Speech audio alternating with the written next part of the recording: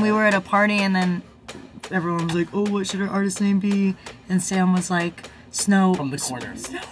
Yeah, and then everyone at the party was like, uh, that's terrible. Like, that's, That's how you know it's gimmicky. good. That's how you know it's good. yeah, and then we were like, then we were like, well, then that's the name. The big reason that I want to be in pop music is because I want to change the world.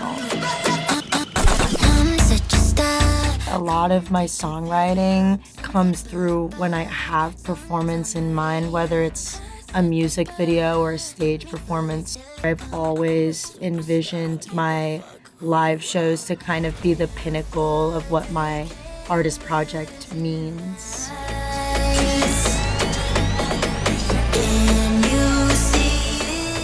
I'm still at the beginning, so things are very don't feel real yet.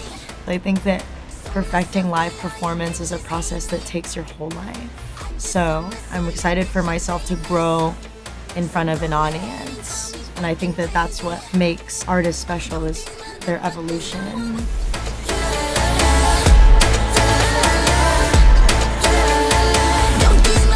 My shows are definitely difficult.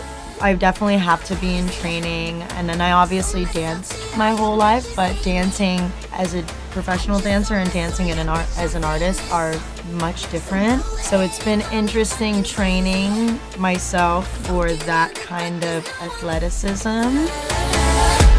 I hope that the audience feels like they got something from me, and I really want them to feel like I did something for them and I want them to see that I'm working hard for them and I hope that they feel my respect for their time and I hope that they get something out of me because I owe it to them because they're investing into me.